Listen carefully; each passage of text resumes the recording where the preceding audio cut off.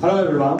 Hello. My name is Yudai Katamoto. Today I would like to talk about studying abroad to the United States. Uh, how much do you have about studying abroad? Uh, I think uh, some people have good image, but others uh, have a bad image. I want you to listen to my opinion, uh, which is the image about studying abroad to the United States.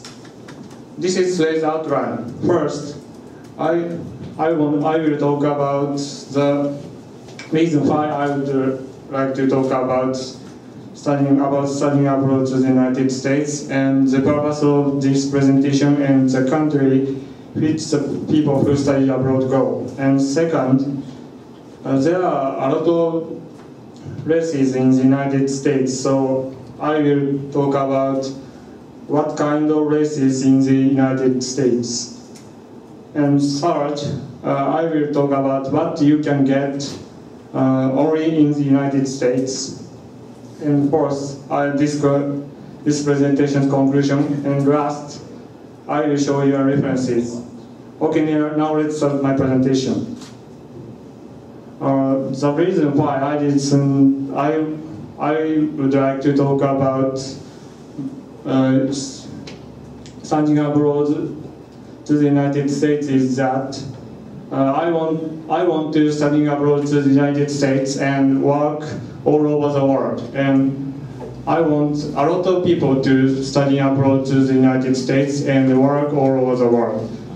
The, the purpose of this presentation is that I insist that uh, there are a lot of countries which spe- whose people speak English, uh, but I but the people who would like to study abroad should go to the United States uh, from the from one point. The point is that uh, there are the largest races in the United States.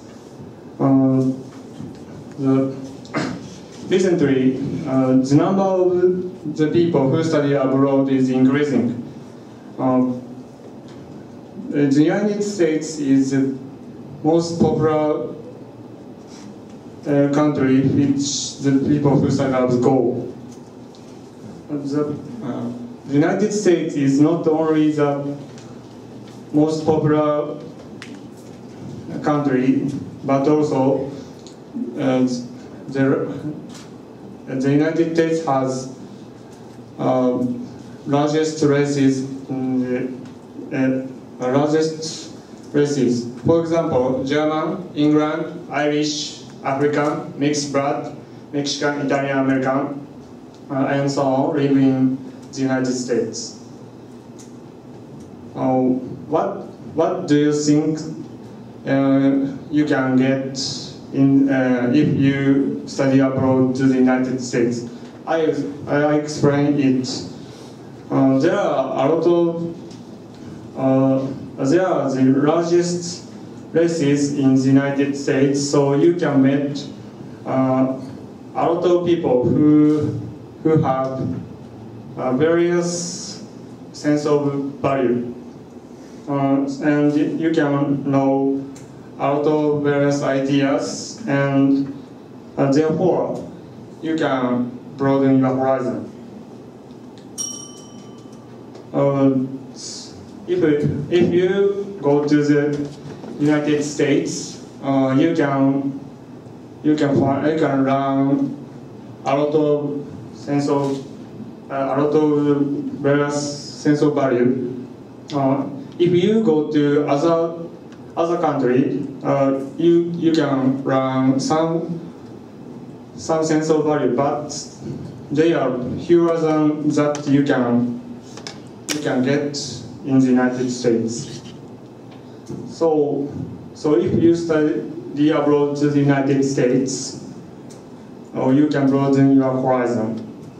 Uh, if you have a chance, let's go to the USA. This is references. Thank you for listening to my speech.